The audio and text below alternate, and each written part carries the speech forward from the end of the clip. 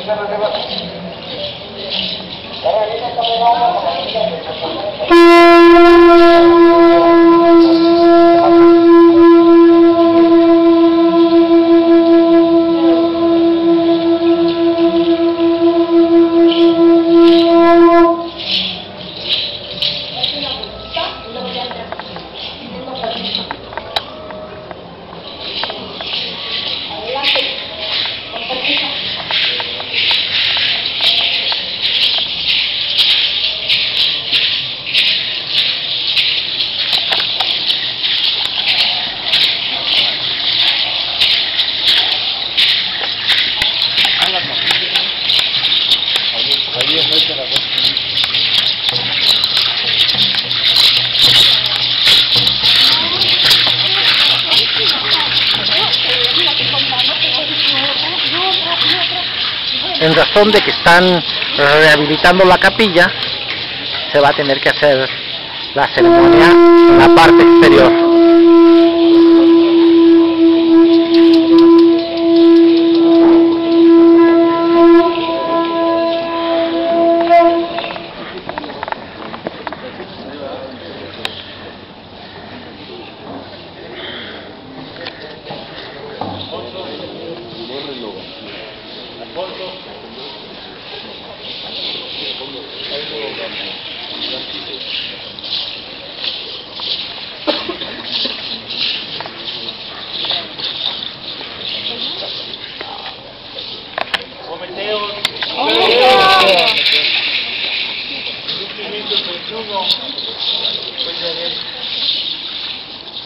Terminado la destrucción de Tenochtitlan,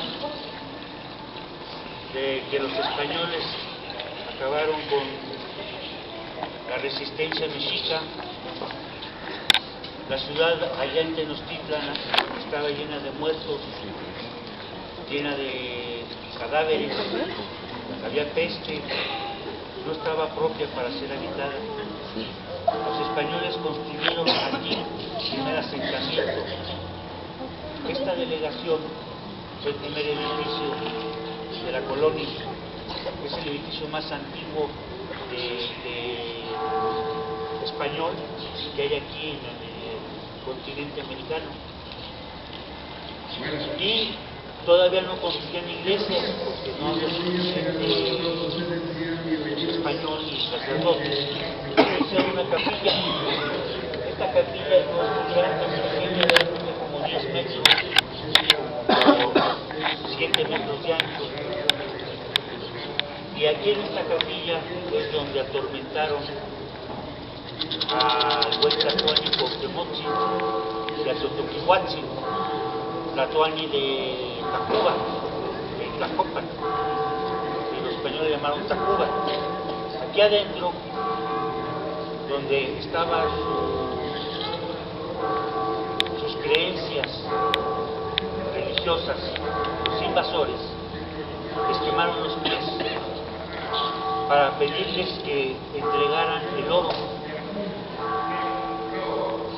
Cuauhtémoc le dijo que el tesoro que no, no se podía ser entregado, porque el tesoro era nuestras culturas, nuestras raíces, nuestro conocimiento, la sabiduría sustentada en la cuarta.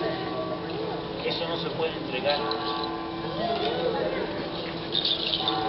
Después de eso, eh, Hernán Cortés lo tuvo prisionero durante cuatro años.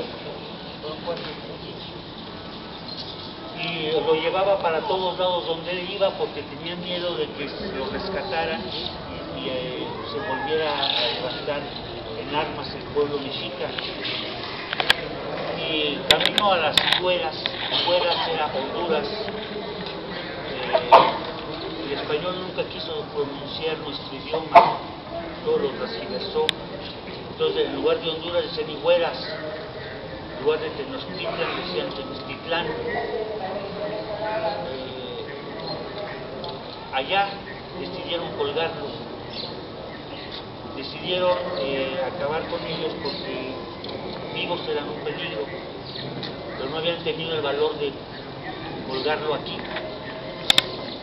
Ya allá muy lejos, en Tenosico, Tabasco, es donde cuelgan a Cuauhtémoc, a Totopihuachi y algunos otros del Consejo de Ancianos, del Consejo de Gobierno de la Toca.